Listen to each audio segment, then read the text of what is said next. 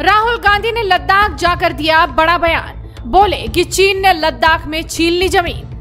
यहाँ पे तो सब लोग कह रहे हैं कि चाइना की सेना घुसी है। तो प्रधानमंत्री जी ने कहा एक इंच ज़मीन नहीं गई मगर वो सच नहीं है। अब राहुल गांधी के बयान पर सिंधिया का भी आ गया तगड़ा जवाब। भारत माता की धरती को चीन को दे दिया अपने गिरेबान में झाके।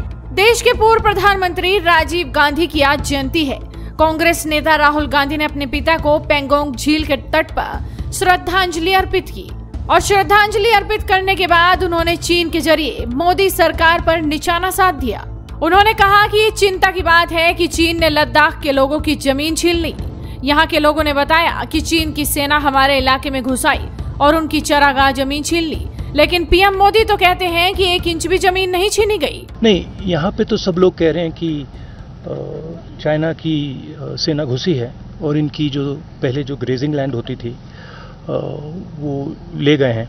वहाँ ये जा नहीं सकते हैं। तो यहाँ तो क्लियरली सब लोग कह रहे हैं। प्रधानमंत्री जी ने कहा, एक इंच ज़मीन नहीं गई, मगर वो सच नहीं है। तो ये तो यहाँ आप किसी से भी पूछ लीजिए, वो आपको बता देंगे। इन्होंने अंग्रेज़ी में सवाल पूछा था कि हम यहाँ क्यों आए?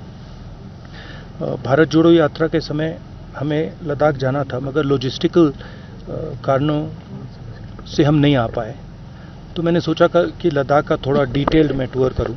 इसलिए हम पैंगोंग आए हैं नुब्रा जा रहे हैं कारगिल जाएँगे ले गए। और जो जनता के दिल में जो है उसको सुनेंगे। Was पापा ने पापा ने बहुत साल पहले पापा यहाँ आए थे। और उन्होंने मुझे कहा था कि पैंगोंग लेक उनके लिए दुनिया की सबसे सुंदर जगह है।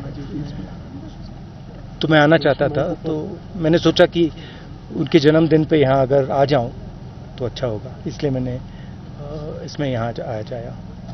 अगर बाइक से जाते हैं तो लोगों से ज़्यादा आसानी से बातचीत हो जाती है। राहुल गांधी के इस बयान पर केंद्रीय मंत्री और भाजपा सांसद ज्योतिरादित्य सिंधिया की ओर से बड़ी प्रतिक्रिया आ गई है।